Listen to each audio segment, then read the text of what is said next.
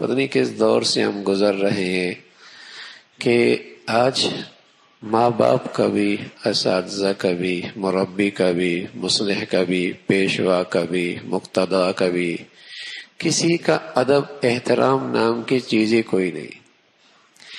इसलिए औलाद को अपने बाप की बात सख्त नागवार गुजरती है। माँ को बेटी को अपनी माँ की बातें सख्त नागवार गुजरती हैं। आज के बच्चे को अपने उस्ताद की बातें बर्दाश्त नहीं होती, अपने मुक्तदा बेशवा की बातें, उससे अदब जो कौन नहीं बल्कि आज का इंसान का नफ्स इतना बड़ा है कि उससे बड़ा वो किसी को नहीं समझता। वो खुद ही सब ही से बड़ा है।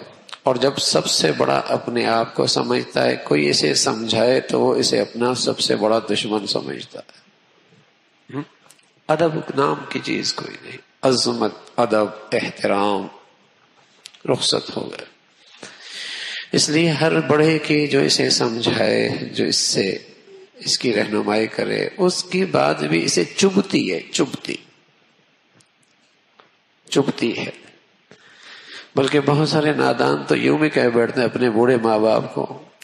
अब हम आपके जमाने की बातें कर रहे हैं, जमाना बहुत बदल गया है। अब दुनिया बहुत बदल गई है। आपके जमाने की बातें कर रहे हैं।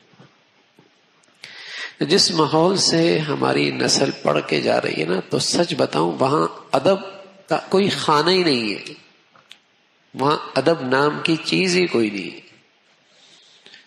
उस सारे निज़ाम की और सारे उस तालीमी सिलसिले की उठान ही बेअदबी पर है। बेअदब। इसलिए किसी की बातें बर्दाश्त नहीं होती, नागवार। अदब था, अदब। और अदब के साथ खिदमत होती है। अदब के साथ खिदमत होती है। एक लिहाज हुआ कर, बाप ने कह दिया ना, बस, बाप ने कह दिया, माँ ने कह दिया, बड़े ने कह दिया हाँ? एक लिहाज होता था, फिर वो खून हो जाते थे उसके जज्बात को, लेकिन उस बात की लाज रखता था, उसका लिहाज रखता था। बड़े ने कह दिया। बड़ा देख लेगा। एक लिहाज था एक अदब था एक एहतराम था।